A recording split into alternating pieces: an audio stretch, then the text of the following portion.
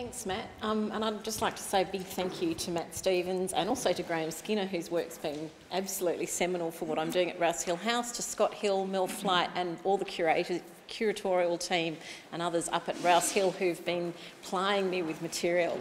Um, I'd also like to acknowledge the elders of the Gadigal people for their strength and resilience in this land and acknowledge any Indigenous visitors who may be here today as well.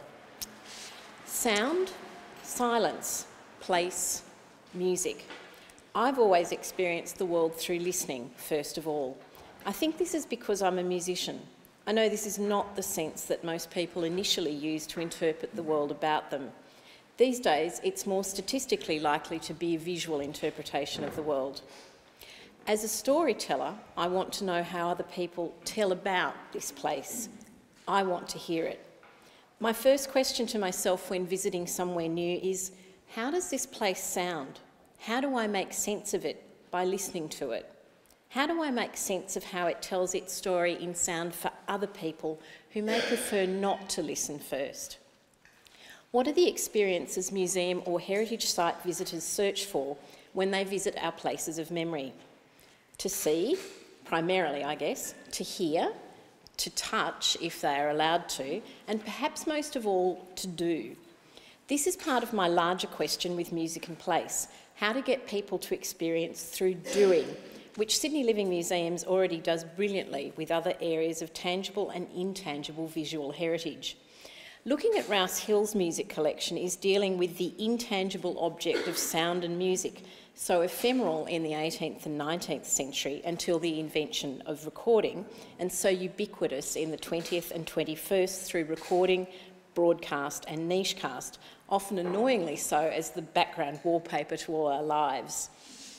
This is the question that all our speakers today so far have dealt with how to put back the sound into a place as it might have been heard by the generations who've lived there.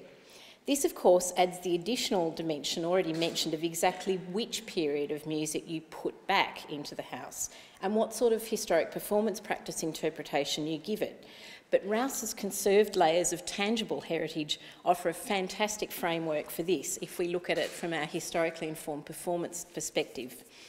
I've been researching Rouse Hill Estate's music collection for just a year, and you'll see circling around, this is Rouse Hill.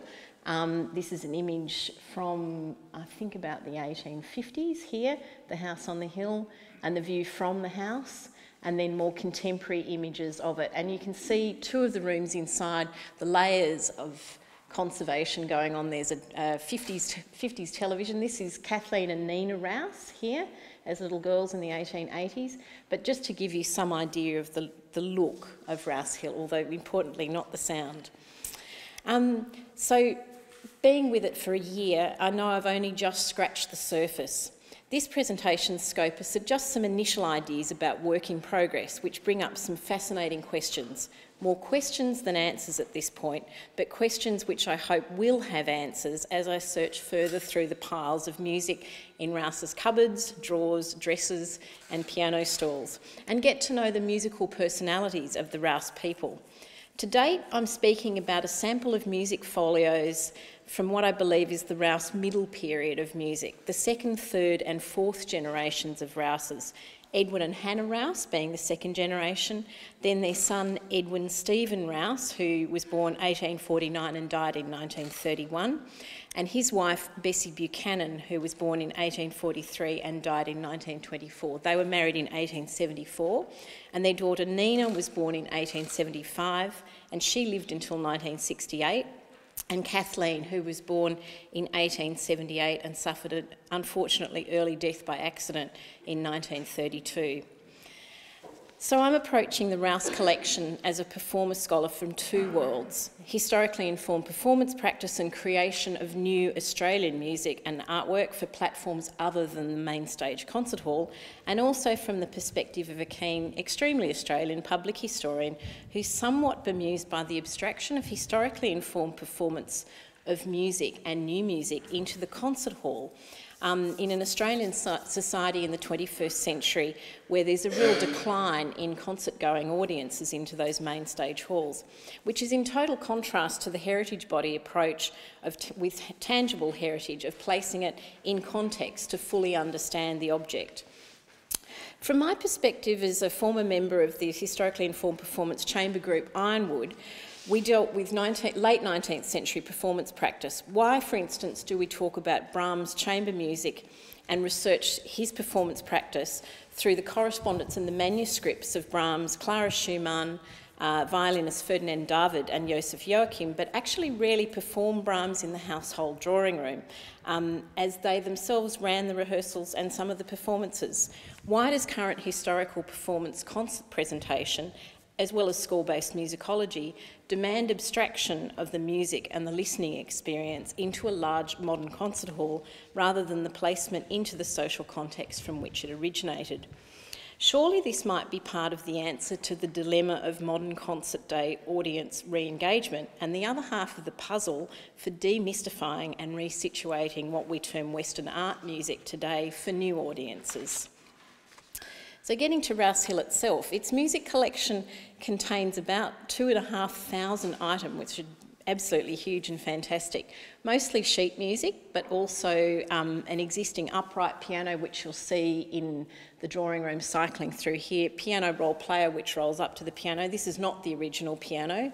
Um, there was an Erard, which was bought for the house in the mid 1850s.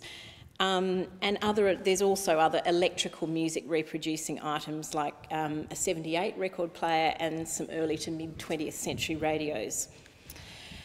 Like the rest of the site, the music collection is multi-generation and in sight, much like your average Australian family's collection of household items anywhere.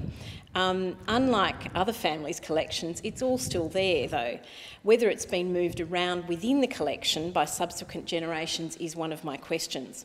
Patrick Buckridge, in his article about Woolmer's Estate Library, uses the terms endogenous, having an internal cause or origin, and exogenous, having an external cause or origin. So this has really influenced and become the frame for me looking at um, the music collection. Scott Hill, who is the curator of um, Rouse, mentioned yesterday that it is important to remember that because the Rouse family had several different properties and nearly everything from those other properties came to Rouse by the end of it, we've got this inside endogenous collection curation going on by the different generations, but also this incredible exogenous collecting going on with everything coming to the, the Rouse collection. So it's this amazing collection from inside and outside.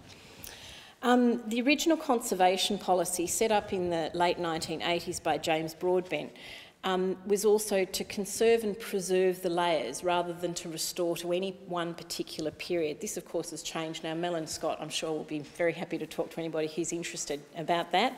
Um, so it does reflect the, the multiple generations of the Rouse family Terry occupation.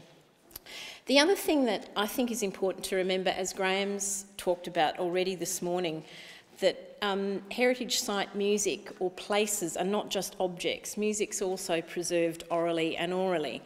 Um, I worked with Indigenous colleagues on a play, Namatjira, thanks very much to Genevieve Lacey as well, um, nationally, and was welcomed to country by the various Indigenous custodians of these places.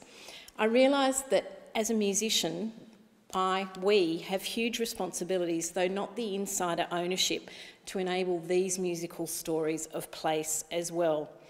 Western Aranda country around Ntaria or Hermannsburg, where the Namatjira story comes from, is hugely rich in song, in story, in art, weaving through everyday life. I think all countries or places in Australia are this rich in music and story if we know how to listen. I think projects to strengthen language through song and music are important in changing this particular silence.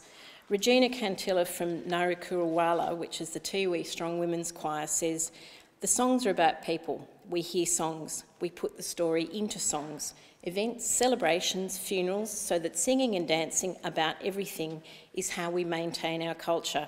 We don't write things down like you mob. Our songs are our history books. So this is a particular um, I suppose, issue at the moment. Uh, Rouse is a Darug place as well.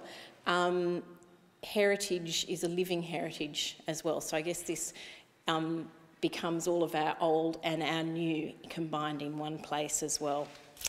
Um, perhaps not for me to comment further on, but for somebody from Darug descent to comment on.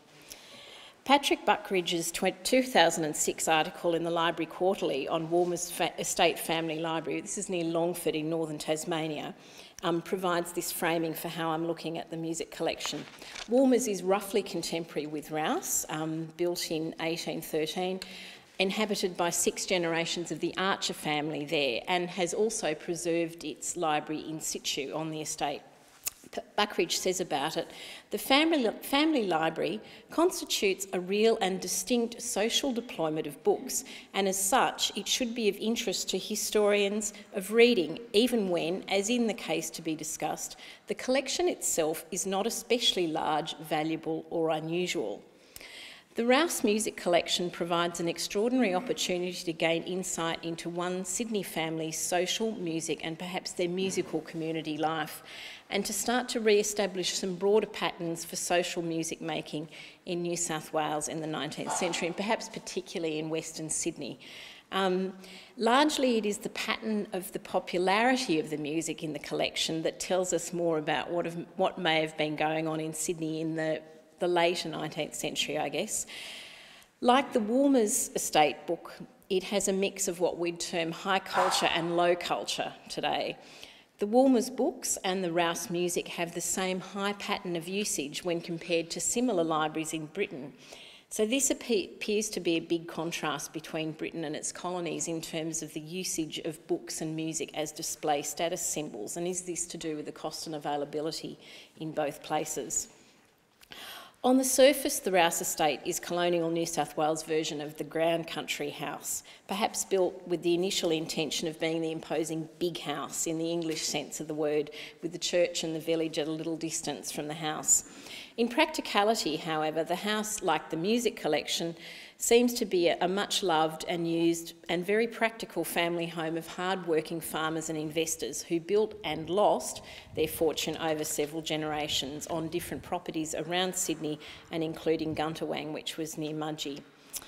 Um, in terms of the music collection signifying social status or not, Buckridge says of the Archer book collection at Woolmer's um, in the 1850s, Archer, we might surmise, was the sort of man who, for all his public prominence and familial authority, bought his books with no more than half an eye to signifying his social position, and read them deeply and thoughtfully, if also dutifully and methodically. Indeed, the pride of place, according to his penny cyclopedias and magazines, might be taken to suggest that knowledge, even in digested and extracted form, was far more important to him than the display of fine books for their social cachet. Um, so at the moment, the, the Rouse music that I've looked at is very largely popular British and occasionally some New South Wales published music for piano and voice, piano solo, or occasionally piano and four hands. There's very little of the canon, the Austro-German canon of the 19th century there. The composers that I've seen feature so far are John Blockley, Brinley Richards, George Linley, Balfe Charles Glover. A tiny little bit of um, Offenbach and Donizetti starts to creep in in the 1860s, as well as the Bertini piano studies, a couple of British vocal tu tutors, and of course including the Corrie vocal tutor. There's a lot of sheet music that follows the commercial star touring at that time. Um, but it's not, with the exception of the governess, Geraldine Anderson, who taught Nina and Kathleen as small girls, it's not a high art collection of music as far as I've seen. Um, it also poses one of my largest questions so far. Um, having been to the Sound Heritage conferences in, in Britain last year, the physical state of the music in Australia, and um, Brianna commented on this as well, looking at the Simons collection, there's a lack of bound volumes of music. And in the case of the bound volumes um, that I have found, Um, the music within these bound volumes is really well used, and the edge and the spine bindings are really quite worn from opening them and using them after they've been bound and page turning. And the sheet music is amazingly beautifully hand stitched and repaired with grosgrain ribbons. So, and even that's sometimes falling off as well. So it seems to be a well used over several generations, really popular collection of music to play and sing at home. Um, so we've heard about Buckridge using the practice of music and book collecting to look at, um, at status in terms of the society. Um, personal collections of sheet music in, in Britain, usually around 30 pieces or songs, were bound together when the owner seems to have finished using them and bound for display on the shelves of the library or the music room or the drawing room. Um, women particularly had their personal collections bound at marriage to take with them as display items into their new home. Um, I think I've seen about two rooms worth of music at Rouse. Um, so I'm looking at this as just a representative sample. I could have all these theories exploded as I look at the others. Um, there is much more common loose folios of music that I've looked at at the moment. Um, so these are good quality leather or bound card and cloth with a strap and a buckle or cord ties to keep the sheet music often, you know, up to 30 items within and they're all very worn. So it's all really high use music. Um, I'm going to talk about two very briefly. Um, R84 218 1 to 30. These, these have been lovingly done by the um, volunteers at Rouse. I hope, correct me if I'm wrong here. Um, and we're done in 2003, I think, is that right? As early as that. Um, so they're done by catalogue by room at the moment rather than by generation or by title or publisher. This, this portfolio has some advertising in its back cover, and we got it from the schoolroom, which is one of the pictures that comes up, the one with the television in it, and the cabinet that we got it from is just on the far right-hand corner here. Um, the portfolio comes from a British company called Robert Cox & Co. It's of only mid-price, described as number five, so it's neither the most expensive nor the cheapest. Um, and we think the folio itself dates from sometime in the 18, uh, 1860s. It's stamped on the front end gold gilt ER. This could be Bessie Elizabeth Rouse, um, and the folio could have been stamped about 10 years after it was bought, or it might also be Lizzie Rouse, who is Edwin Stephen's sister, who was born in 1845 within two years of Bessie. Um, Edwin Stephen and Lizzie grew up at Rouse Hill House and also at Guntawang near Mudgee and were known to take music lessons at Rouse Hill House. So if the folio dates to around 1865, both of these women would have been around 20. So this is the peak age for collecting sheet music and then binding it. So why did they leave it um, in this folio? This is a folio, I guess, that typifies these notions of endogenous and exogenous collecting, so arrangement from within and then collection from without um, the particular music collection. Um, because inside the folio there's sheet music that's variously signed by Bessie Buchanan, her maiden name, um, as well as Bessie's daughters Nina, and there's a KB Rouse, I'm assuming that that's Kathleen Rouse at this point. Um, Two pieces of music in this folio seem to have been published in New South Wales at Woolcott and Clarke's or at the various other incarnations of Woolcott and Clarke's music businesses around Sydney. We've got a Catty Darling, as sung by Madam Anna Bishop, um, for which hundreds of copies circulated in the colonies as Bishop toured. Um, there's also a copy in the collection at Throsby Park, Moss Vale. Um, and we think this particular copy might date from around 1855, uh, printed and published by J.R. Clarke at 356 George Street. Please correct me if I've got that dating wrong.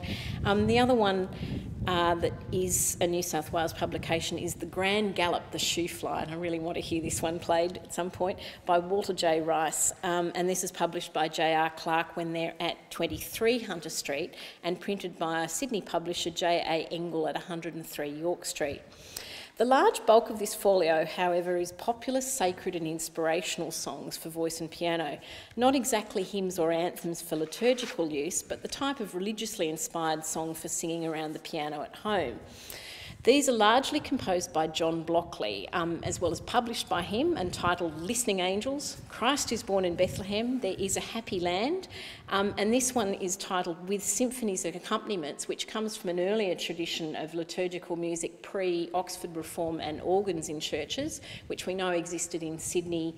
Um, as St James Anglican Church were being built, they had gallery bands. They weren't particularly good, but provided symphonies and accompaniments between all the psalm verses. Um, some of these are signed Bessie Buchanan, again, so they might be hers, and most of these have retailers' blind stamps from Cramer and Beale or Cramer, Beale and Wood in London. Um, but the Christian Martyr, by contrast, has a retailer's blind stamp from Elvy & Co at 321 George Street. Um, R84217 is, by contrast, a bound folio. Um, it has 19 songs for male voice and piano, and there's things by Balfe, four by Molloy, seven by Stephen Adams, two by Ciro Pinsuti, um, the popular barcarolle from the Bridges Sighs by Offenbach. And again, even though it's a bound volume, it's really in high use. It has lots of grease on the corners and all the spine binding is broken. Of course, these topics of these songs seem to be very gendered um, for male voice. Um, there's things about sailing the high seas and piracy, working in the fields or on a whale ray, um, a love song, or in the example that Matt and Katrina are going to perform for us in a minute, um, a love song to a city London bridge. Um, most of these sheet pieces of sheet music are marked down to half price or even less, often from four shillings down to two and six. So that's another thing about the Rouse collection so far. where the Rouses buying up job lots of cheap music from Sydney, um, was it selection by bargain basement price, first of all? That seems to be quite common in the collection. Really interesting.